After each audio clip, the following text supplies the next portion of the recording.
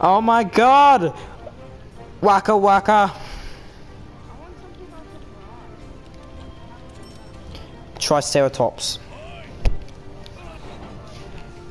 You have to knock it out using twank arrows.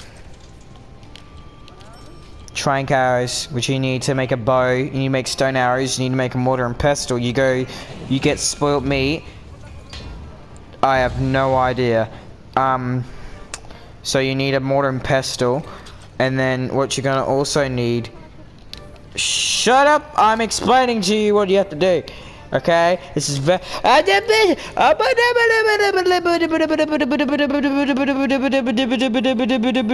Stop breathing. Um, so basically, um, what you gotta do is you're gonna make more impressed then you get spilt meat and narco berries, put them in there, then you make narcotics. And then you grab those narcotics and you get stone arrows and you put them together and you make trank arrows and you put them in a bow or crossbow. You shoot them at the trike and then that makes it go sleepy and if you shoot it enough it'll fall over asleep. And then you put mejoberries the purple ones because they're the best ones to tame with. And then you put that in it and then it eats it. And then after a little bit it'll be yours. And then you got to create a smithy but to get a smithy you need to make a furnace.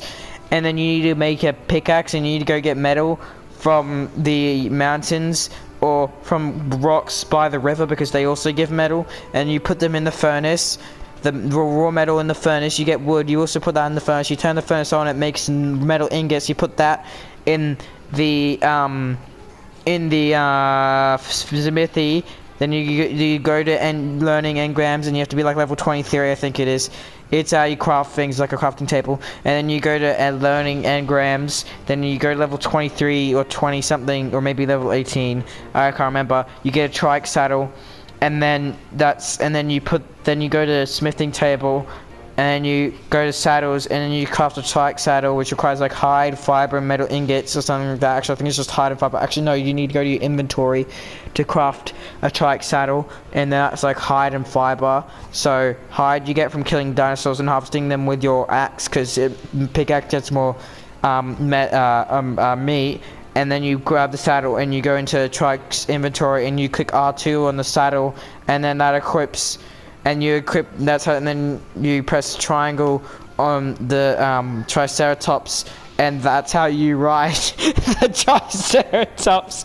And then you use the Triceratops and you click R2 near bushes and you get berries. And then you gotta do that process with T-Rex but instead you need it takes a lot you need to craft a long neck rifle with Triceratops and then you need to do a giga, which will be a lot longer, and you'll need to make a trap by using giant dinosaur gates, and then that's and then you trap the giga, and then you use a quetzal, and you fly above the giga, and you get like a box full. You need a platform saddle of for the Quetzal, which you need silica pearls for, which means you need like a megalodon. So you need to use a crossbow under the water, and that's how you shoot trank arrows under the water to knock out the megalodon. You feed it fish. And there's an AI also listening in my conversation, listening to me telling how to do it.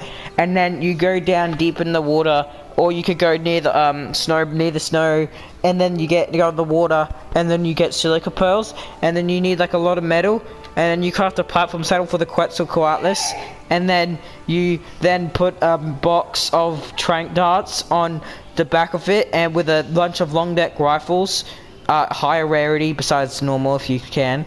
Then you put trap the Giga in the trap, and then you fly above it and you keep shooting down on it until it falls asleep and then you feed it. And it'll probably take maybe like an hour to three hours possibly if you don't change the settings of the taming, sp taming speed and then uh, you and then you, what?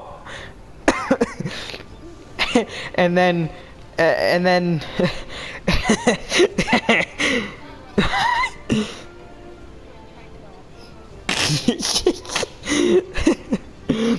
and then um you you